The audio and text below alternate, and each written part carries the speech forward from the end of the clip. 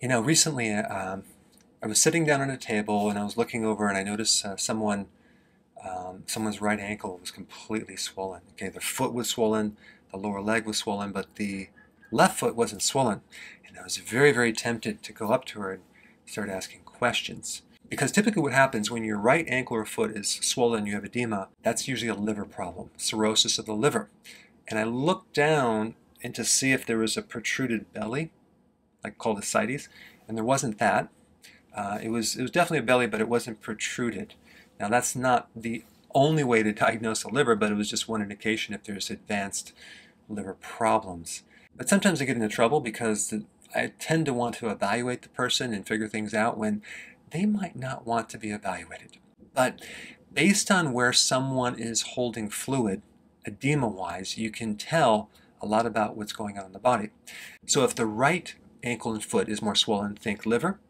If the left foot and ankle is swollen, think more heart.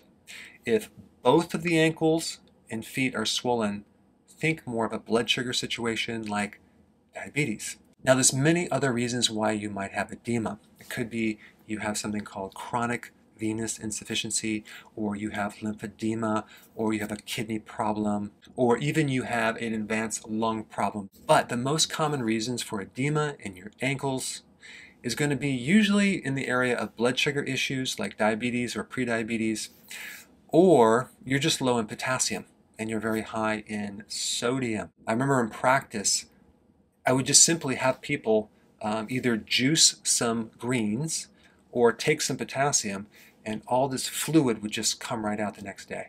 So potassium is very, very important. And uh, it just tells you that they're just not consuming enough greens. They're just doing heavy salt.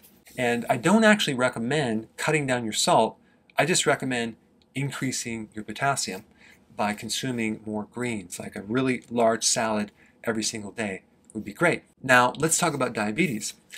But what happens when you're diabetic is you get destruction of your vascular system, especially in the capillaries.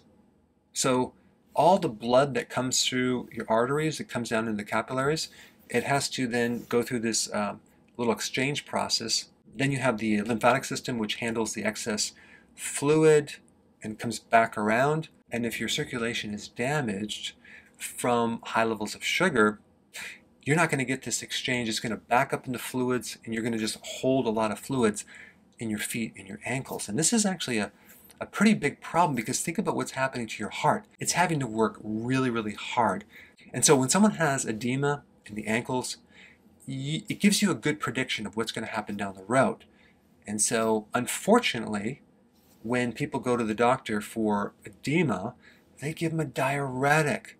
They're treating the symptom. The symptom is not the problem. It just tells you there's a problem there.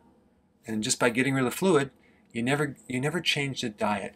You never get the potassium in there. You don't correct the blood sugars. And unfortunately, when you suppress the symptom, you're hiding the symptom and you're lowering the awareness that the problem is still there because you're taking these diuretics every day and you're just getting rid of the fluid and you're thinking, oh yeah, uh, I'm fine. So if you're watching this right now and you have swelling in the ankles or the feet um, definitely start asking questions, start to investigate an underlying cause. If you're on medications, definitely also find out the root of this problem and start to correct it so you don't end up down the road with a bigger problem. Hey, before you go, if you're benefiting from any of my content, I would love to hear about your success story. Please share it in the link down below.